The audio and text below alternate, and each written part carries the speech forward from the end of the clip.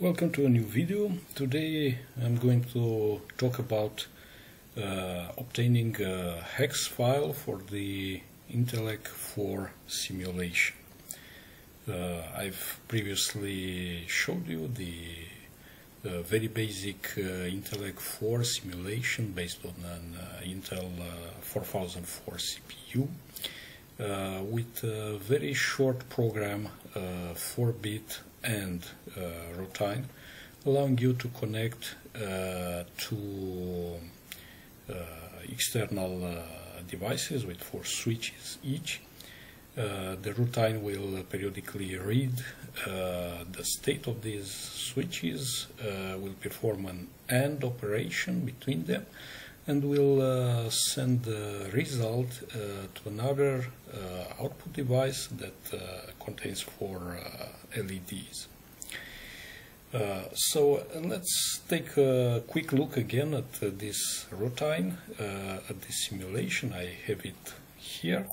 I will quickly start the Java System Simulator with this simulation starts with a very big uh, Intellec front panel. I will make it smaller.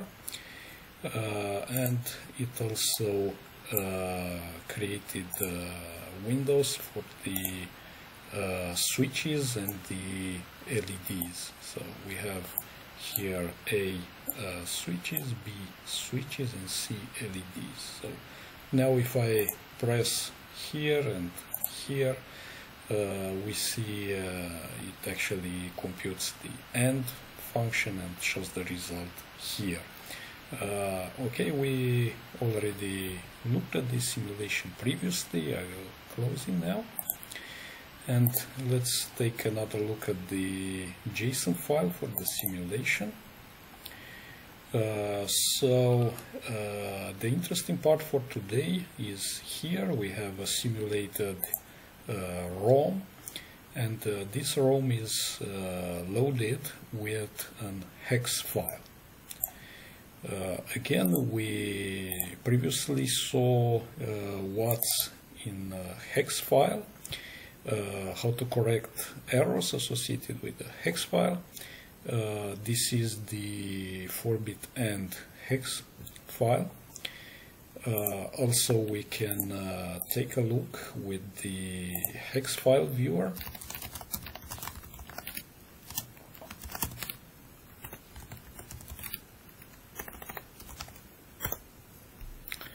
Okay, and we see it uh, shown here.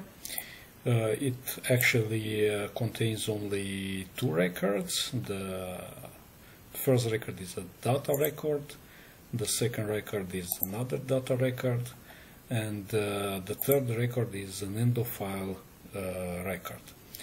Uh, you see here uh, we have an address, uh, we have the actual data content, scroll, uh, we have the checksum, and everything looks good.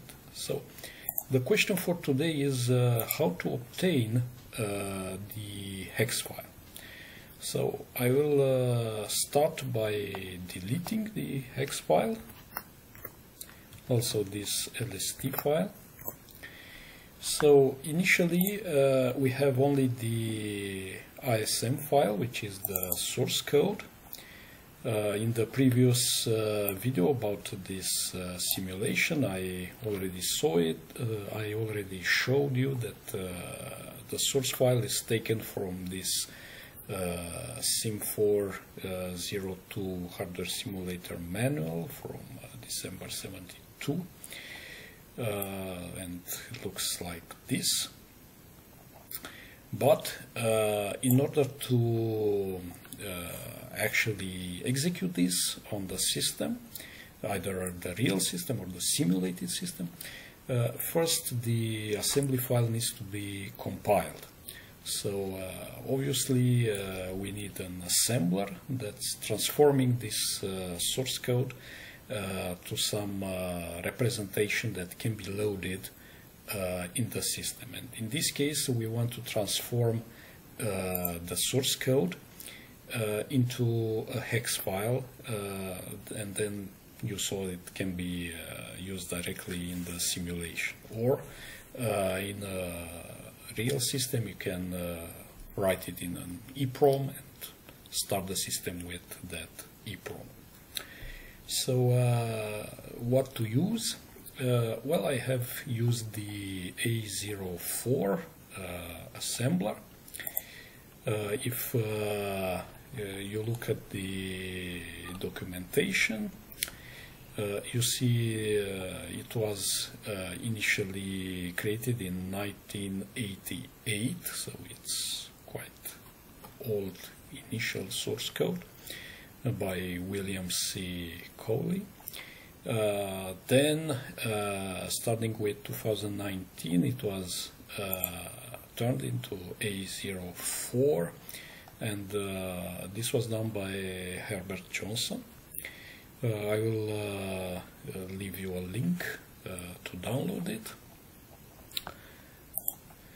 Okay, so I have it already downloaded here.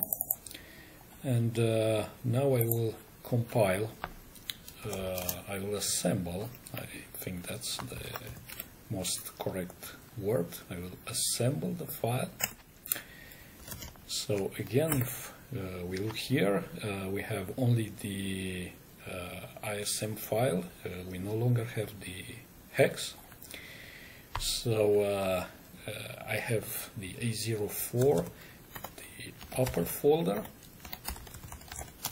and it's an executable.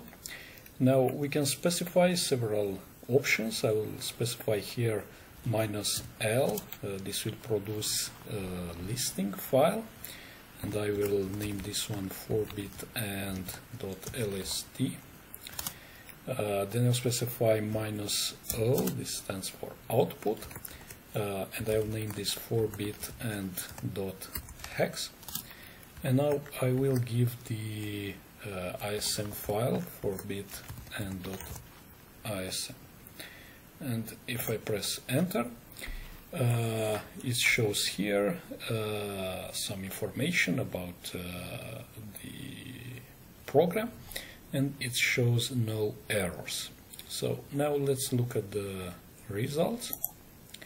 So it created here the LST file and the hex file uh, so again, if I open this hex file, uh, I see here the content, the same as it previously was.